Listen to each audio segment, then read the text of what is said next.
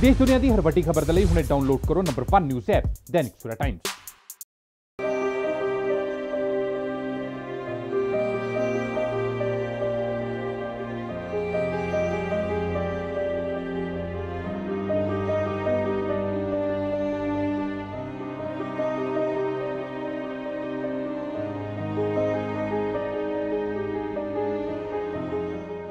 ਇਹ ਹੈ ਅਮਰ ਕੌਰ, ਉਰਫ ਅਤਲ ਅਫੀਜ਼ਾ। ਜੋ ਕਿ 1947 ਦੀ ਵੰਡ ਦੌਰਾਨ ਆਪਣਿਆਂ ਨੂੰ ਗਵਾ ਚੁੱਕੀ ਹੈ। 72 ਸਾਲ ਬੀਤ ਜਾਣ ਮਗਰੋਂ ਵੀ ਅਜੇ ਵੀ ਉਸ ਨੂੰ ਆਸ ਹੈ ਕਿ ਉਹ ਕਦੇ ਨਾ ਕਦੇ ਤਾਂ ਆਪਣੇ ਪਰਿਵਾਰ ਨੂੰ ਮਿਲੇਗੀ।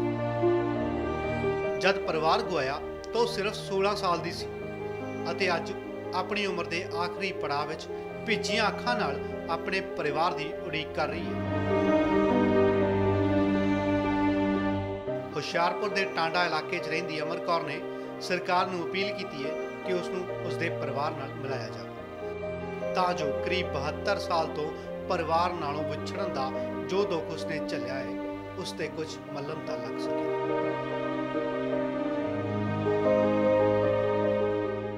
ਉਸ ਵੇਲੇ ਕਿਸ ਤਰ੍ਹਾਂ ਵੰਡ ਹੋਈ ਔਰ ਤੁਹਾਡੀ ਉਮਰ ਕਿੰਨੀ ਕੁ ਸੀ ਜਦੋਂ ਪਰਿਵਾਰ ਦੇ ਨਾਲ ਤੁਸੀਂ ਅਲੱਗ ਹੋਏ ਸੀ? 16 ਸਾਲ ਦੀ। ਹਮਲਾ ਹੋਇਆ ਜਦੋਂ ਦੁਨੀਆ ਇਕੱਠੀ ਹੋ ਕੇ ਪਈ ਪਿੰਡ ਪਿੰਡ ਬਹੁਤ ਭਾਰਾ ਸੀ ਸਾਡਾ। ਅੱਛਾ ਜੀ। ਬਹੁਤ ਹੀ ਭਾਰਾ ਸੀ। ਦੁਨੀਆ ਦਾ ਬਾਈਆਂ ਪਿੰਡਾਂ ਦੇ ਪਿੰਡ ਸੀਗੇ। ਇਕੱਠੇ ਹੋਏ ਤਾਂ ਉਹਨਾਂ ਨੇ ਫਿਰ ਸਾਰੇ ਰਾਹ ਰੋਕ ਰ ਪਹਿਲਾਂ ਤਾਂ ਰਾਹ ਬਣਾਈ ਸੀ। ਤਾਂ ਸਾਨੂੰ ਉਦੋਂ ਨਹੀਂ ਪਤਾ ਲੱਗਾ ਕਿਸੇ ਨੇ ਦੱਸਿਆ ਜੋੜੇ ਦੇ ਨੇ ਤੇ ਤੁਹਾਡਾ ਜਿਹਾ ਹਮਲਾ ਹੋਣਾ। ਅੱਛਾ ਜੀ। ਤੇ ਹੋਰ ਜਾਣਾ ਕਿੱਥੇ ਸੀ? ਰਾਹ ਤਾਂ ਸਾਰੇ ਰੁਕੇ। ਪਰਿਵਾਰ 'ਚ ਕਿੰਨੇ ਮੈਂਬਰ ਸੀ ਜਿਹੜੇ ਪਾਕਿਸਤਾਨ ਚਲੇ ਗਏ ਉਸ ਸਮੇਂ?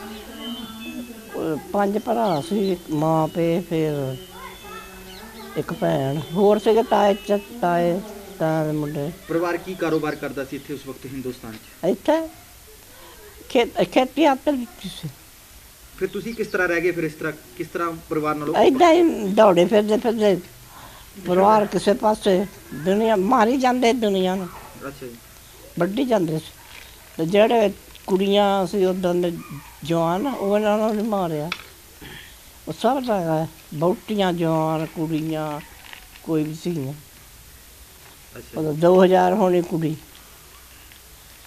ਉਹਨਾਂ ਨੂੰ ਸੀ। ਜੀ। ਇਸ ਪਰਿਵਾਰ ਦੇ ਵਿੱਚ ਜਦੋਂ ਕਿਸ ਤਰ੍ਹਾਂ ਆਏ ਤੁਸੀਂ ਇਸ ਪਰਿਵਾਰ ਵਿੱਚ? ਉੱਥੋਂ ਏਦਾਂ ਫਿਰ ਦੁੱਖ ਗਾ ਕਰ ਐ ਖੁੰਝੇ ਬੜੋ ਕਦੇ ਇੱਧਰ ਖੁੰਝੇ ਬੜੋ। ਏਦਾਂ ਫਿਰ ਕੋ ਕਿਤੇ ਦੌੜ ਗਿਆ ਕਿਤੇ ਇੱਕ ਦੂਜੇ ਨੂੰ ਦੇਖਿਆ ਸੋਹਣਾ ਉਹਨਾਂ ਨਾਲ ਮੇਲ ਕਿਸ ਤਰ੍ਹਾਂ ਹੋਇਆ? ਤੁਹਾਡੇ husband- ਉਹ ਲੈਣ ਦਾ ਫੜ ਕੇ। ਅੱਛਾ ਜੀ। ਹਾਂ, ਮੈਂ ਕਿੱਥੇ ਨੂੰ ਖੜਨਾ ਕਦੇ ਇਕੱਠੀਆਂ ਕਰਨੀਆਂ। ਅੱਛਾ ਜੀ। ਇਕੱਠੀਆਂ ਕਰ- ਮੈਂ ਕਿਹਾ ਮਾਰਨਾ ਹੋਊਗਾ ਇਹਨੇ ਇਕੱਠੀਆਂ ਕਰਕੇ। ਅੱਛਾ ਜੀ। ਫਿਰ ਉਹਨਾਂ ਤੁਹਾਡੇ ਨਾਲ ਵਿਆਹ ਕਰਾ ਲਿਆ ਇੱਥੇ? ਹੂੰ। ਪਰਿਵਾਰ ਤੋਂ ਅਲੱਗ ਹੋਣ ਤੋਂ ਬਾਅਦ ਕਿਸ ਤਰ੍ਹਾਂ ਦਾ ਅਹਿਸਾਸ ਸੀਗਾ ਕਿਸ ਤਰ੍ਹਾਂ ਦਾ ਮਹਿਸੂਸ ਕਰਦੇ ਸੀ ਉਸ ਵਕਤ? ਕਿ ਪਰਿਵਾਰ ਤੋਂ ਅਲੱਗ ਹੋ ਗਏ ਜਾਂ ਪਰਿਵਾਰ ਜਿੰਦਾ ਹੈ ਜਾਂ ਕਿਸ ਤਰ੍ਹਾਂ ਹੁਣ ਜਦੋਂ ਮਿਲਿਆ ਪਰਿਵਾਰ ਤੁਹਾਨੂੰ? ਇੱਥੇ ਆ ਕੇ ਫਿਰ ਹੋਣਾ ਕੀ ਸੀਗਾ ਵੀ ਕੋੜਾ ਘੁੱਟ ਕਰਦੇ ਆ ਪਤਾ ਹੀ ਕਿੱਥੇ ਨੂੰ ਜਾਣਾ ਹੁਣ। ਕਿੰਨੇ ਬੱਚੇ ਹੋਏ ਵਿਆਹ ਤੋਂ ਬਾਅਦ ਸਾਡੇ ਤਿੰਨ ਲੜਕੇ ਤੇ ਦੋ ਲੜਕੀਆਂ। ਅੱਛਾ ਜੀ। ਜਦੋਂ ਤੁਹਾਡੇ ਬ੍ਰਦਰ ਦਾ ਮੈਸੇਜ ਆਇਆ ਤੁਹਾਨੂੰ ਮਿਲੇ ਮਿਲ- ਹੋਣ ਲੱਗਾ WhatsApp Facebook ਦੇ ਉੱਤੇ ਅੱਜ ਮਿਲਦੇ ਪਏ ਹੋ ਤੁਸੀਂ। ਤੇ ਕਿਸ ਤਰ੍ਹਾਂ ਦਾ ਮਹਿਸੂਸ ਹੁੰਦਾ ਉਹਨਾਂ ਨੂੰ ਅੱਜ ਉਹਨਾਂ ਨਾਲ ਮਿਲ ਕੇ? ਕਿਹਦਾ ਪਰਿਵਾਰ ਨਾਲ ਜਿਹੜੇ ਪਾਕਿਸਤਾਨ ਦੇ ਵਿੱਚ। ਉਹ ਆ ਹੁਣੀ ਹੋਇਆ। ਥੋੜੇ ਦਿਨ ਹੀ ਹੋਏ ਆਇਆ ਨੂੰ ਉਹਦਾ ਸੁਨੇਹਾ ਸੁਨਹਾਉਂਦੇ ਰਹਿੰਦੇ ਸੀਗੇ। ਅੱਛਾ ਜੀ। ਕਿ ਅਸੀਂ ਆਉਣਾ ਮਿਲਣਾ। ਇੱਕ ਜਦੋਂ ਇੰਦਰਾ ਮਾਰੀ ਉਦੋਂ ਸੁਨੇਹਾ ਆਇਆ ਵੀ ਆਉਣਾ। ਤਾਂ ਪਤਾ ਸੀਗਾ ਤਾਂ ਫਿਰ ਆ ਗੱਲ ਨਹੀਂ ਸੀ ਬਣਦੀ ਇੰਦਰਾ ਮਾਰ ਸੁੱਟੀ। ਫਿਰ ਆ ਹੁਣ ਫਿਰ ਪਿੱਛੇ ਜਾ ਗੜੀ ਫੋਨ ਆਇਆ, ਮੁੰਡਾ ਆਇਆ ਕਹਿੰਦਾ ਵੀ, ਇਹਨੂੰ ਕਹਿੰਦਾ ਤੇਰੀ ਮਾਂ ਨੂੰ ਭਤੀਜੇ ਦੇ ਮਿਲਣਾ ਚਾਹੁੰਦੇ ਆ।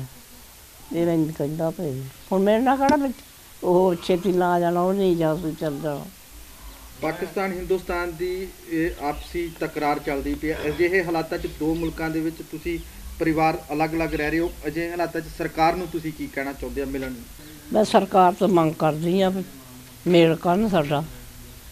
ਤਾਂ ਉੱਦਾਂ ਤਾਂ ਉਹ ਫੋਨ ਕਰਦੇ ਆ ਉਹ ਵੀ ਜ਼ੋਰ ਲਾਉਂਦੇ ਪਈ ਸੀ। ਆਵਾਂਗੇ ਤਾਂ ਹੁਣ ਉਹ ਕਹਿੰਦੇ ਵੀ ਆਈਏ ਕਿੱਦਾਂ। ਪਰਿਵਾਰ ਤੋਂ ਵਿਛੜੀ ਅਤਲ ਹਫੀਜ਼ਾ ਭਾਵੇਂ ਹੁਣ ਅਮਰ ਕੌਰ ਏ ਅਤੇ ਚੰਨਣ ਸਿੰਘ ਦੀ ਪਤਨੀ। ਜਿੰਨਾ ਅਮਰ ਕੌਰ ਲਈ ਪਰਿਵਾਰ ਤੋਂ ਵਿਛੋੜਾ ਦਰਦ ਭਰਿਆ ਹੈ ਓਨੀ ਹੀ ਆਸ ਉਸਦੇ ਬੱਚਿਆਂ ਨੂੰ ਵੀ ਆਪਣੇ ਨਾਨਕੇ ਪਰਿਵਾਰ ਨਾਲ ਮਿਲਣ ਦੀ ਹੈ। ਅਮਰ ਕੌਰ ਦਾ ਪੁੱਤਰ ਅਮਰੀਕ ਸਿੰਘ ਆਪਣੇ ਮਾਮਿਆਂ ਅਤੇ ਉਹਨਾਂ ਦੇ ਪਰਿਵਾਰ ਨੂੰ ਮਿਲਣ ਲਈ ਅੱਜ ਵੀ ਬੇਤਾਬ ਹੈ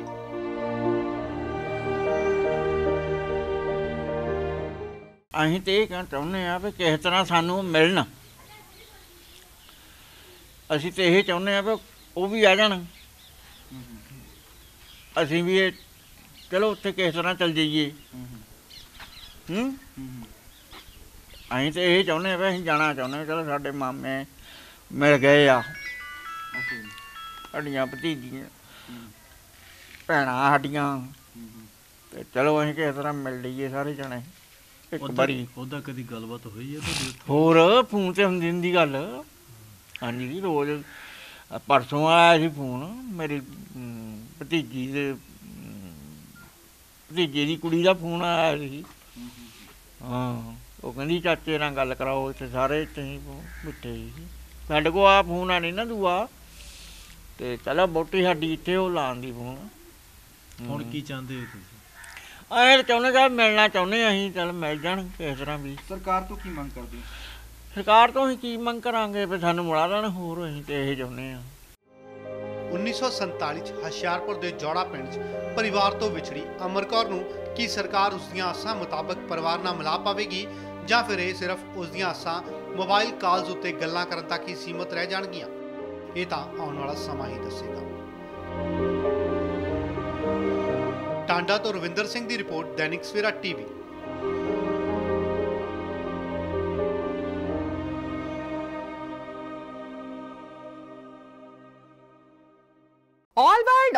Challenge 17 time gold medalist Mian Rafiq Mohammad पंडित मौलवी बेगम तांत्रिक इन चोरा ठगा तो सावधान स्पेशलिस्ट वशीकरण सट्टा नंबर लव मैरिज पति पत्नी च अनबन विदेश च पक्का होना कारोबार दा ना चलना सिर्फ़ 31 ਘੰਟਿਆਂ ਵਿੱਚ ਸਮਾਧਾਨ free free free Mian Rafiq Muhammad mobile 843747494647 84374 94648